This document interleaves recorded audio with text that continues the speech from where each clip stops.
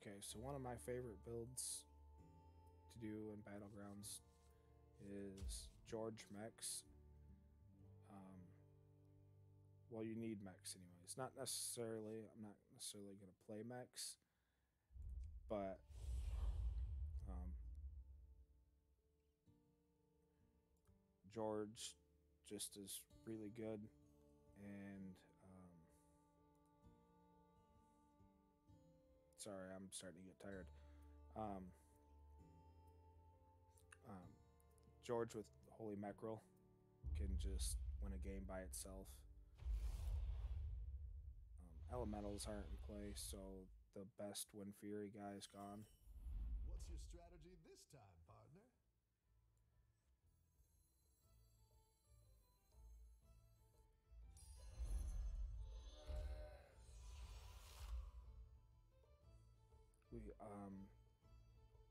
while when you're building towards that Holy Mecherel um, one of the things you want to avoid typically it would be a uh, death rattle effect because usually your minions aren't going to die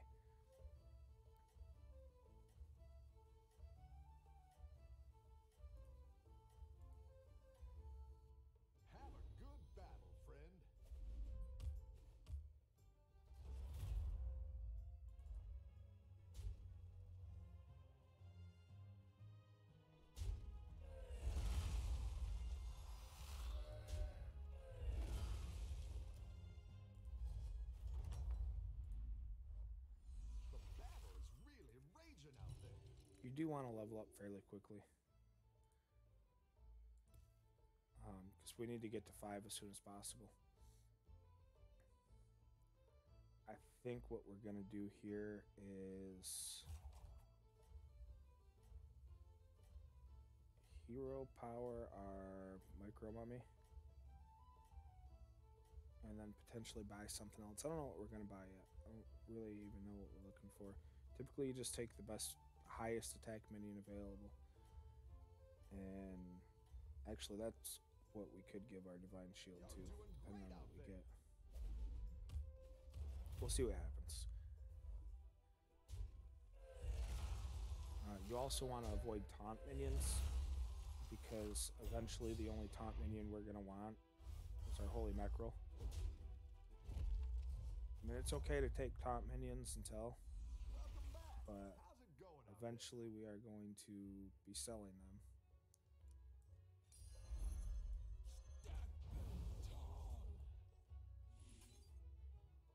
So I don't think we're gonna keep him, and we are gonna keep him for a while. So we're gonna divine shield that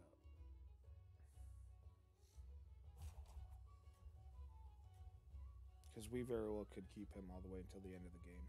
He's constantly buffing the attack of all of our minions. And we don't really care about health. Another minion to look out for would be um, with Quill with Quilboar being in play, the gem splitter. Because most of our minions are gonna have Divine Shield. Also, respawn.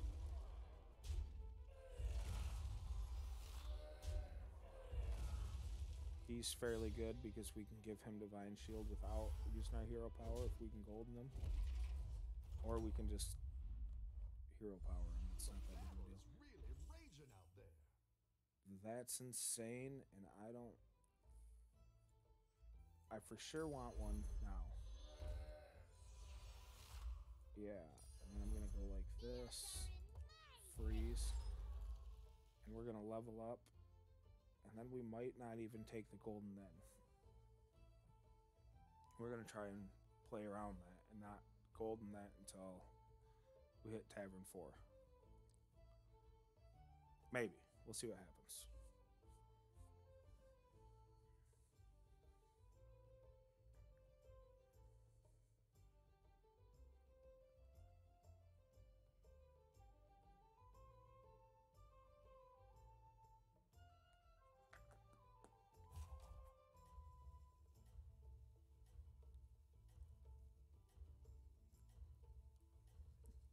But one of the best minions you can keep while you're working on building up would be this gambler because she sells for the same amount of gold as you buy her for. So you're gaining a, a board presence with no investment. Unfortunately, she ate a buff there, but it happens. She also took an attack there,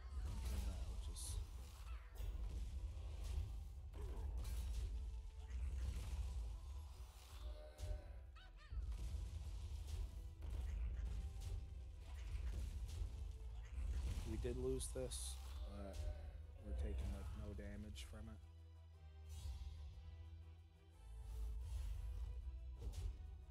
And we maxed out our buddy meter doing so, so I'm happy with that.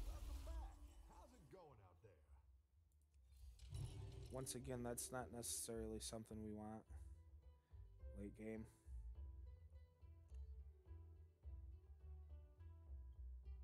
But it is something we might want now. If he's playing Murlocs. Right there. Okay, so ideal situation is these two buff each other because these three minions I don't think we're gonna keep. Now we might go ahead and be psycho on this turn. Level up, sell this, and buy one of these. Aiming for the Holy Mecherel.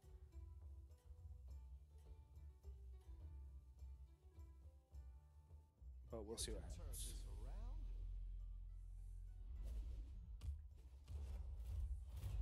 Okay, so we're guaranteed a blood gem here. Well, I guess, yeah, we're guaranteed a blood gem here. Easy win.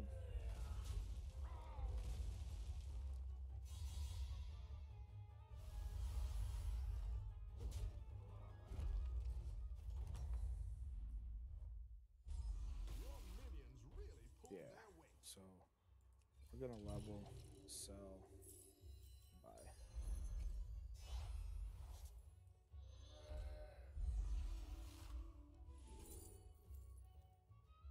Light Fang actually really good here. Yes, because now we can go ahead and sell this. Light Fang up.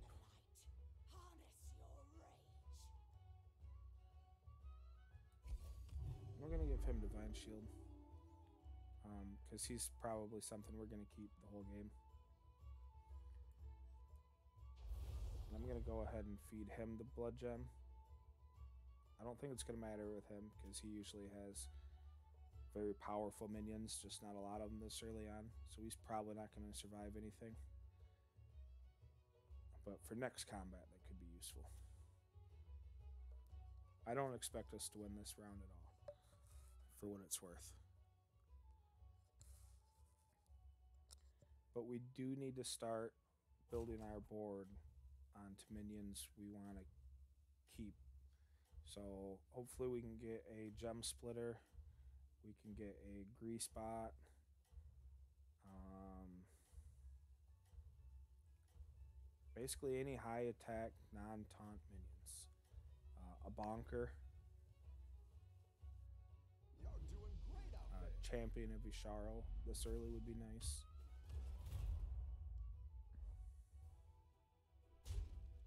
Oh, we did get a blood gem. Thank you. We're gonna lose this round though. Still, it is what it is.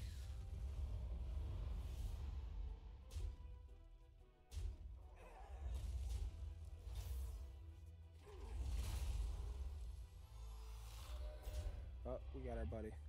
That's always nice. Um, we're definitely giving him Divine Shield now because we know for sure we're not selling him. And that three attack needs to get raised. And there's our Grease Bot that we wanted.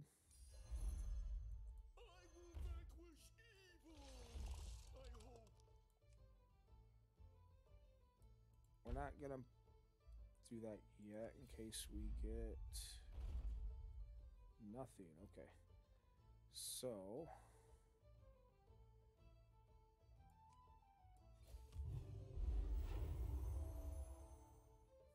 I suppose what we could do here is we could just take a demon and start buffing it now for that. We might keep this late game too, actually. I'm thinking about it. We can play like a menagerie Divine Shield Holy Necro build. Is there a better demon to take other than just a 5 4? I mean, ideally the Fell Bat, but it's alright. This will work for now.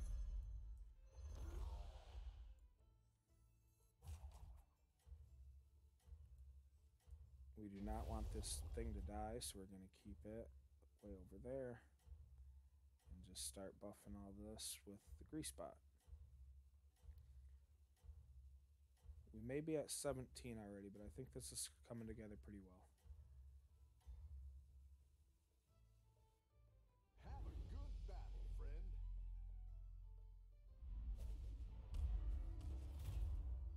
I would love a bonker.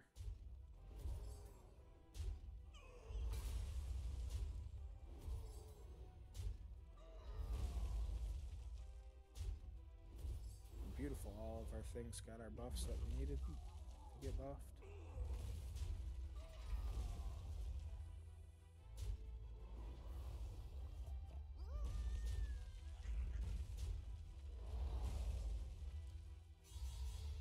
We got our blood gem trigger, did a lot of damage.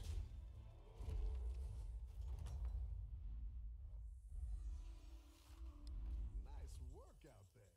Keep Okay, so now definitely don't want the ghoul. Um I'll easily take another Grease Bot. Tactical choice. And you know what? We're gonna just hold on to that for now.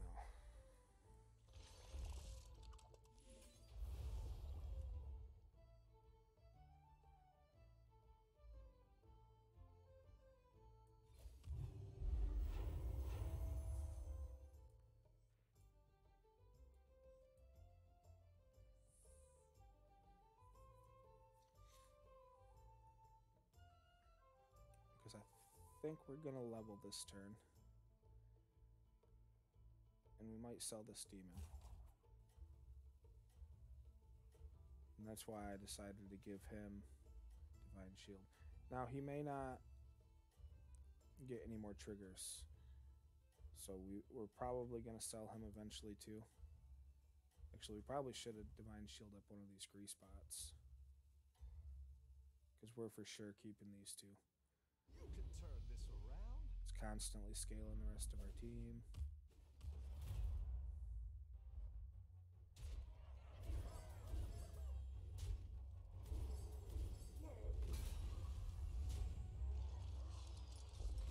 That was a little unfortunate, but like I said, we're definitely not always going to be hitting our uh, buff triggers. Not yet, anyways. But we were able to get blood gem. So that kind of makes up for it.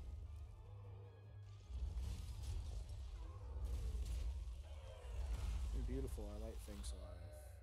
But you dead regardless. So I guess it didn't matter.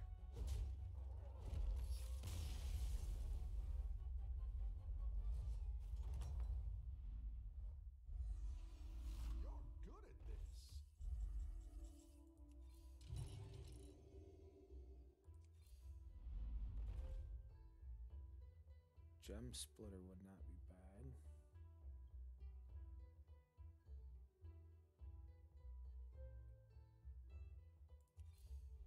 Looks like you can get a triple. Yes, we can.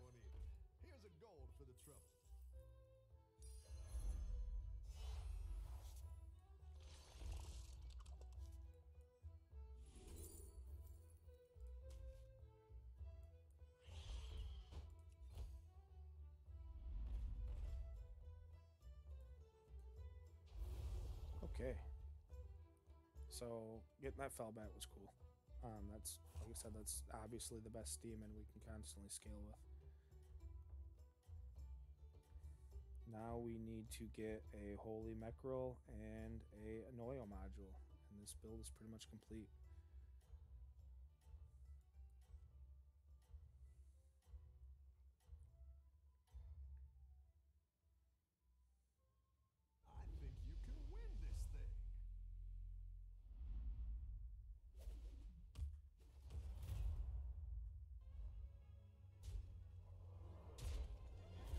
Glad he survived getting sniped.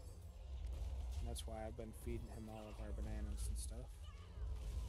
So our light thing missed out on a buff, but that's okay. We made up for it by getting that frenzy trigger.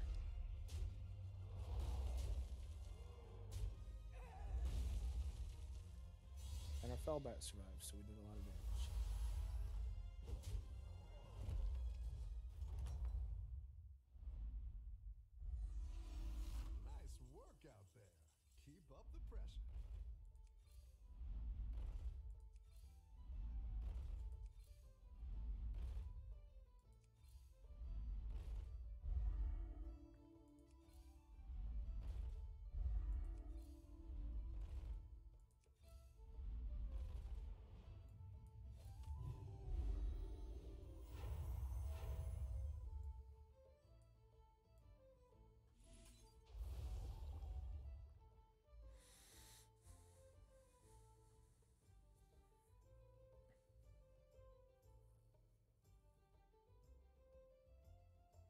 Now one thing that's unfortunate is once we get our Holy Mecherel and our Noyo module, we are gonna have to sell something. Unless it's the turn that we get our Buddy Golden. Because we're not gonna have a free space. Um and it it's rough giving up that much stats if I do decide to like sell him or him or something. Probably not selling this demon. And I'm probably giving him Divine Shield next turn, but I definitely wanted to give him Divine Shield this turn. Because not only does it buff all these attacks, but now he can't get sniped right off the bat at least.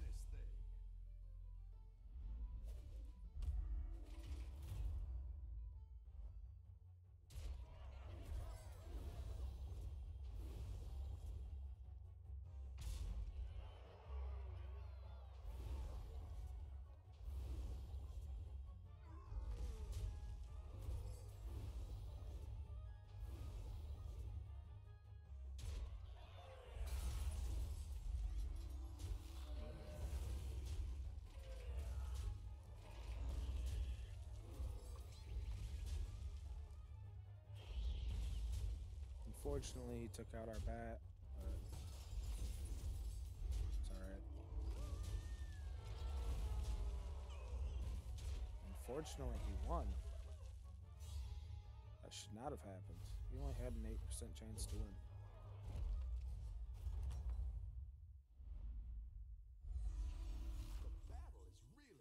Um, Gold Grubber is another really good minion to get because he self scales. We we just need to find our Holy Mecherel.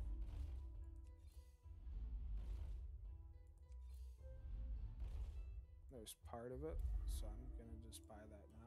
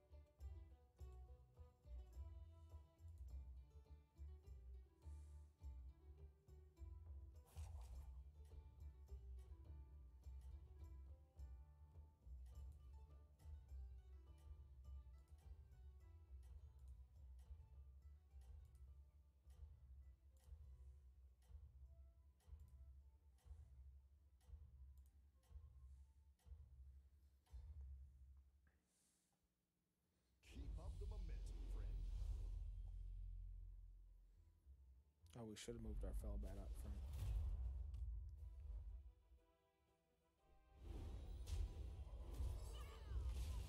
Okay, so this is a rough build.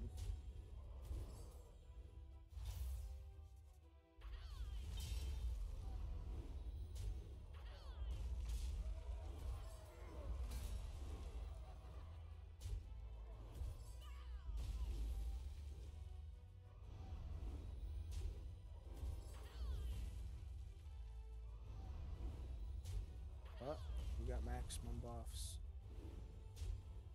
Well, no. One of these needs to attack but now we got maximum buffs. Now let's just hope we survive.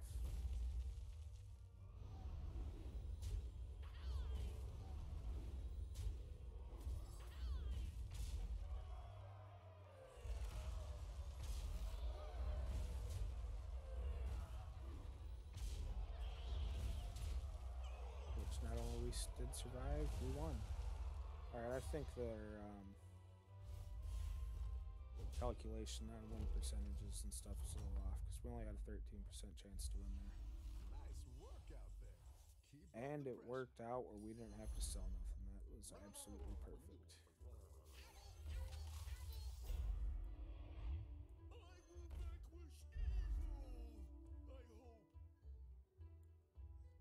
I hope. Beautiful. So, I am going to go ahead and sell our micro mummy here. You might call me crazy. No. Yeah, I'm going to sell micro mummy. That way, uh, Light Fang has a better odds of hitting that. We need this as strong as possible. And I'm going to pick up a gold grubber.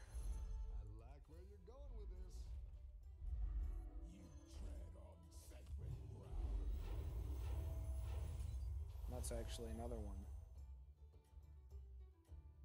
It's too late to start scaling him, though. I think it's too late to start scaling Gold Grubber, too. So now we just gotta go for Goldens. I think you can win this thing. But he scales our whole team, just like Greasebot does. Uh, this is an easy one for us.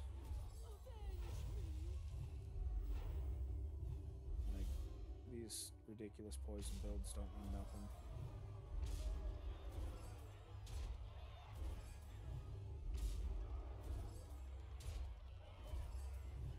Okay, maybe it's not going to be an easy one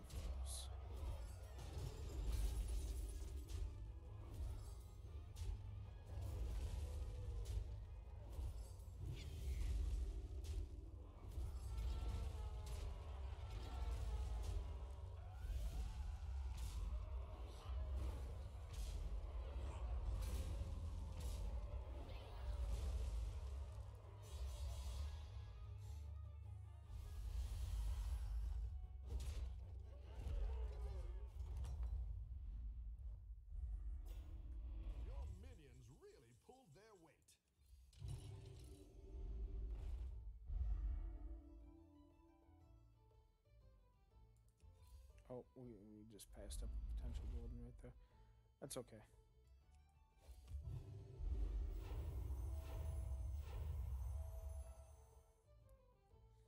Really, we want like a golden light fang, um, Felbat, him.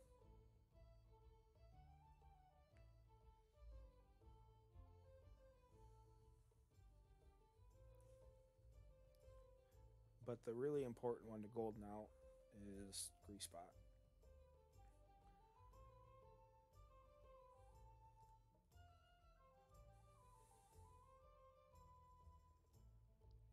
I can't imagine we're going to lose this game. Um, an unstable ghoul really wrecks our build. So if one of these two are smart enough to pick that up, that's gonna it's gonna hurt quite a bit.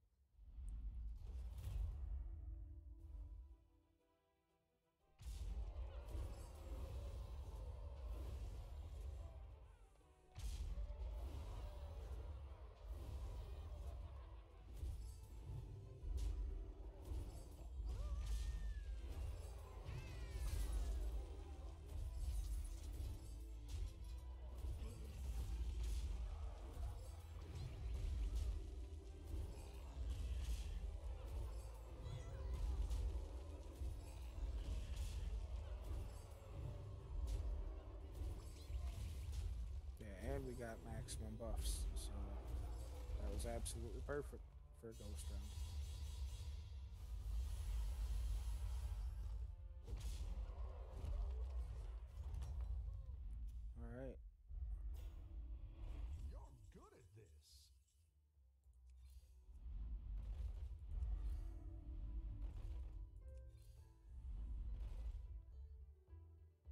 Probably should have bought that ghoul so there was one less in the minion pool. Didn't think about that.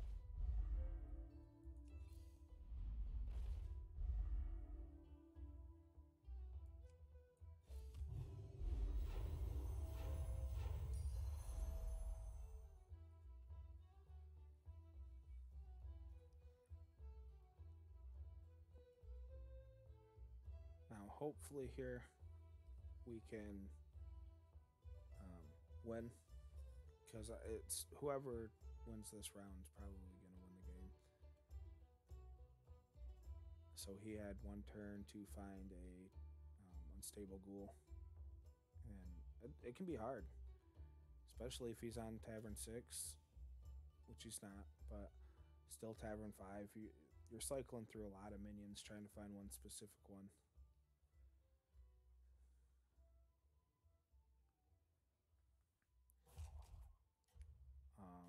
This minion right here is another good one to potentially get. Just throw back here last to raise the attack like this on like crazy. It's a good Grease Bot substitute if you can't find one of those.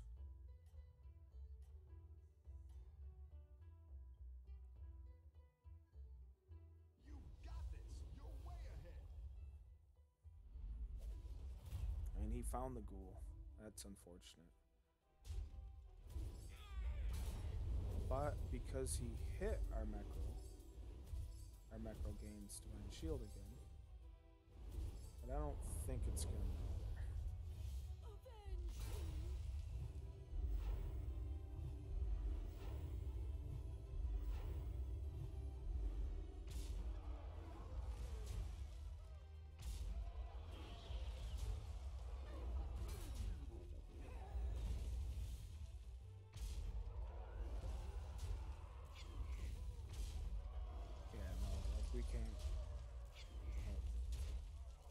So we did lose this round. Um, unfortunately, it's another second place, not a first. But the build came together; it was strong, and he found the one counter for it in the one turn. So it was a good play by him. Can't argue with it. I was, I'm, I'm happy with that. Until next time, have fun.